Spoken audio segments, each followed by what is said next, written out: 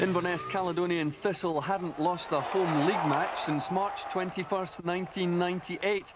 A 22-match unbeaten run, which sadly for them was to come to an end yesterday. Not before, though, they took a seventh-minute lead. The cross coming in, Paul Sheerin opening the scoring with the shot past Myles Hogarth in the Falkirk goal. He was delighted with that effort, and rightly so. 20 minutes gone though, and Falkirk were right back in this game. Good run down the left from David Hagen, perfect cross in, and Colin McDonald with the equaliser. The home side were to go 2-1 in front before half-time.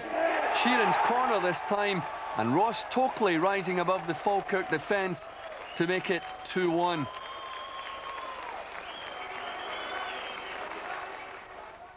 Well, into the second half now, and Falkirk desperate to get back into this match.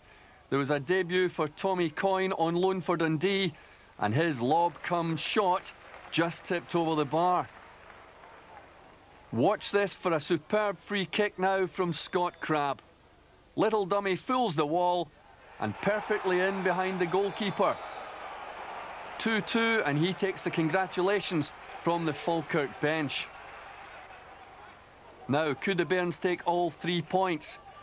Some determined play here from Jamie McQuilken was to lead to the winning goal. He picks himself up, fires over the cross, and there's Gareth Hutchison to make it 3-2 to Falkirk.